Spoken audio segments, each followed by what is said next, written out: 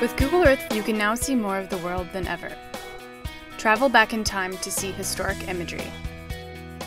Dive below the surface of the ocean. And record your journeys to share with others with touring.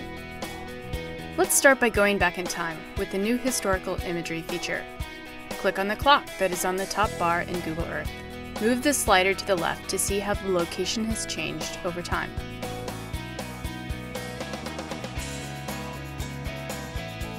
Next, let's dive into the ocean. Open the Ocean folder in the left Layers panel.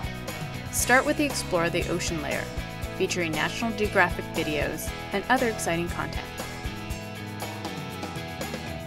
Let's follow Jacques Cousteau on a historic dive in the Mediterranean as he and his fellow explorers illuminate their journey by torchlight. There are many new ocean layers that you can now explore.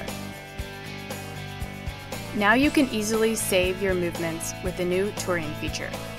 Click on the camera on the top menu to start recording your actions.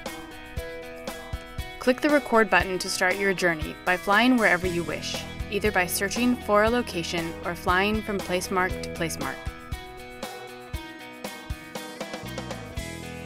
Click the play button to see your tour. To download Google Earth, go to earth.google.com.